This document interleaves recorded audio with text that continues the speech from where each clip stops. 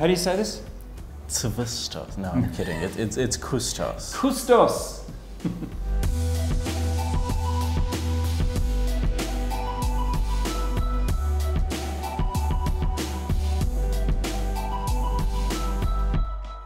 Hello, welcome to Time of Tide.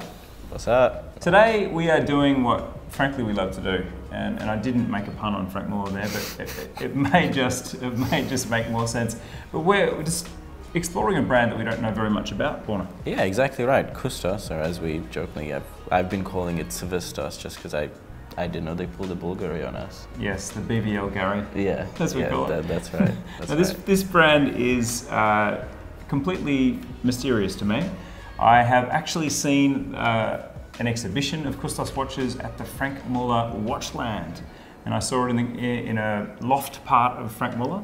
And I went and had a look. And I started to discover a little bit more. But we have quite a few in front of us today. Yeah, we've got the new Cvstos Metropolitan in front of us, but the fact that you saw it at Watchland actually makes a lot of sense. It does. So the brand was founded in 2005 by a gentleman by the name of Sassoun Sirmakes, who is the son of the co-founder of Franck Muller's group. But there's two people behind Cvstos, because there's someone else who's Absolutely. connected to the industry as well. Uh, Antonio Terranova, who Mm-hmm. used to design for Tag Heuer, Zenith, Breitling, and uh, Mr. Sirmakes came together to create Cvstos. Yes. Kustos is really hitting that spot of obviously the, the really rarefied high end of, of watchmaking and the most desirable brands in the world, your APs, Richard Mills, Pateks. They're, they're making watches that are practically inaccessible at this point, which is due entirely to their popularity. But it does create a bit of a vacuum or a bit of a void for brands to, to, to fill. That's right. Whether that be you know just insane retail prices or insane markups on those retail prices in the second-hand market, uh, there is always space for someone new to come in and to present their own thing. Yes. Uh, and I think Kustos is, is, is doing that here. And with you know, backing from the Franck Muller Group, who does produce uh, some of their higher complicated movements, you know, your tourbillons, your, your repeaters. Uh, here they introduce a more everyday piece at a more accessible price. Well, we're talking about tens of thousands of francs here, but in this sort of world of these avant-garde tonneau-shaped watches, uh, it is an entry level. Yes. I feel like these sort of blend this sort of avant-garde design, super angular shapes, and tone it down a little. Especially, you know, being called Metropolitan, I, I guess that's what they wanted to play on here. Uh, some of their other pieces that we've seen in the past really went, you know, completely all out. There was a Dani Pedrosa piece, which was absolutely wild. Uh, but these take a more sort of laid-back approach to, to, to this to this style, especially these two here, grade five titanium pieces that we've got. Yes. So let's talk about this collection and what's in it because we have three here. Yeah, yeah, and these three represent uh, just a part of the collection. There's a couple of gold pieces that we do not have in person here, Mhm. but uh, they will be very similar to the two we see here. So starting off really with the one that you were looking at, this blue, really nice teak decking sort of dial. 42 millimeter diameter, 51 mil lug to lug, so sort of Let me classic. try that on wrist. Yeah, yeah, Yeah, absolutely. because I'm seven inches, so this is I'm a pretty typical wrist, and that's how we're looking. Exactly, and you've got an articulating first link, which is super important with these uh, integrated bracelet sports watches. Yeah. Um, otherwise, you know, they just sit. They jut. Exactly, jut. Mm. I, I like that.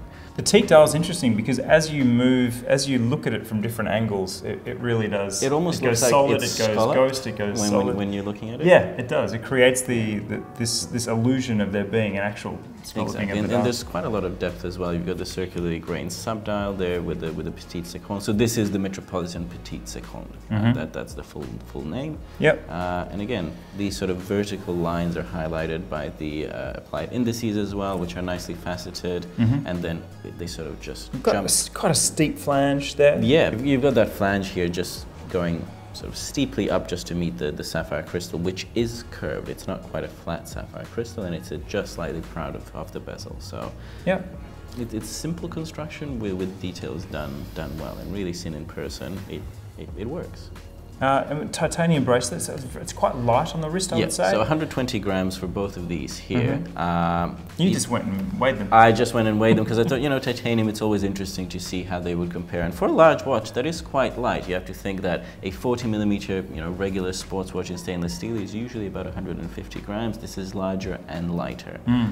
Uh, and again, they haven't used too many polished surfaces here. They've used them quite sparingly. Uh, although yes, a fully fully brushed bracelet with fully with brushed center links.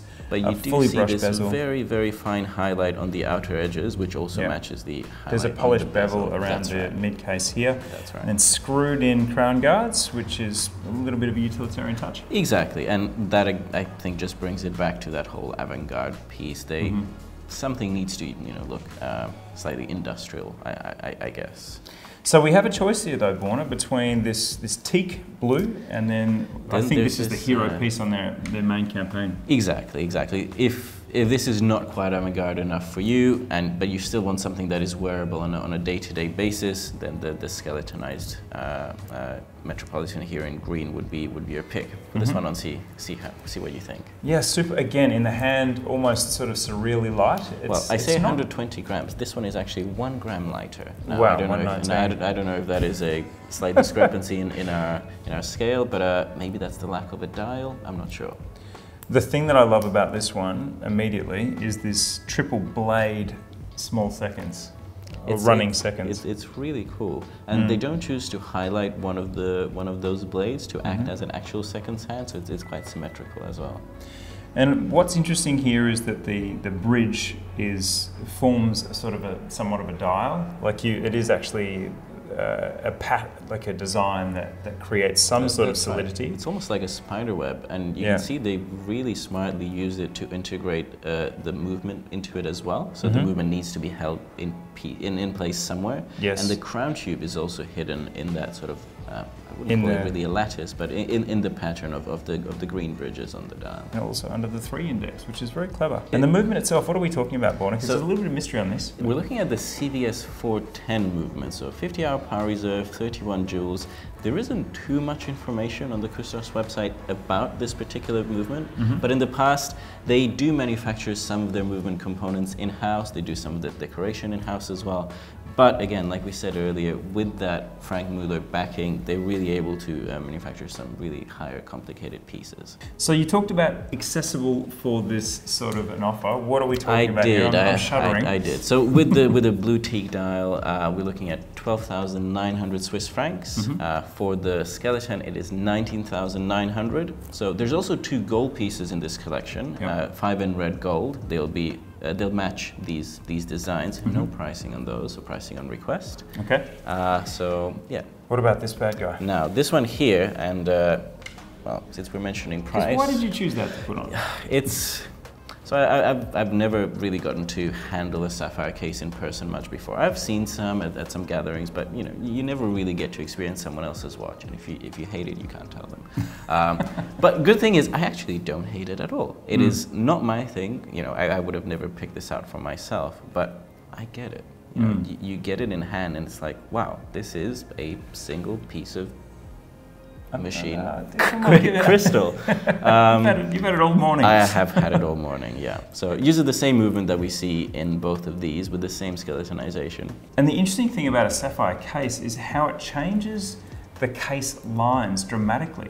Because here in the titanium versions, there's clearer lines because it's a solid, solid material. Whereas here, I think what this does for me is it softens off this tonneau case even more. What's the price of this compared to the titanium? So this one will sting a little more. 37,800 Swiss francs for this one, which, you know, it's a, highly technical case with, a nicely finished movement. And we have a blackened uh, movement on the back, and then of course this sort of dragon green, like metallic green. And if we have a look at the, the back of the movement, you'll also notice a teeny tiny QR code there. Yes. Uh, which I actually have managed to scan, even though it's quite small, and it just gives you some uh, data about your particular watch. Oh, that's cool. So all of these are limited. This one will be 50 pieces. These Yeah. two are uh, 200 pieces each, with the Mhm. red golds being 25 pieces each. So yeah, it, it just makes it unique to you. From a distance, this is obviously from a club, but on the wrist and in the hand, I really can't think of another case shape that's that's really identical or, or even really close to this. It's a it is a tonneau shape, but with a different rounded sort of edge to the corners, and the case itself is quite unusual and quite different. You've, you've hit the nail on the head here. So they've taken avant-garde, they've taken classic, put, put it together, and they made it work really well. Thanks for watching another journey of discovery at Time and Tide. It's been fun.